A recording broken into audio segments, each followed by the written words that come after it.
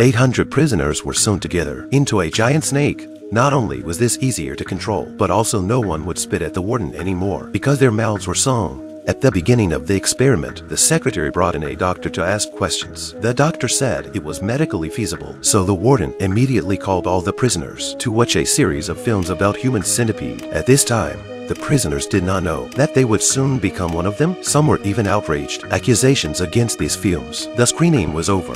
The warden came up. He raised his submachine gun and started shooting. He announced the start of the experiment. And sure enough, who could stand it? The inmates rioted en masse. A few of those who had been tortured often rushed to the front and determined to kill this psychopath. The warden could only run away. He called in the special forces to come to his rescue. As he climbed out the window to escape, the troops arrived. The prisoners was put down with weapons. While protected, he took the tranquilizer gun, walked from cell to cell, one by one. He anesthetized each prisoner.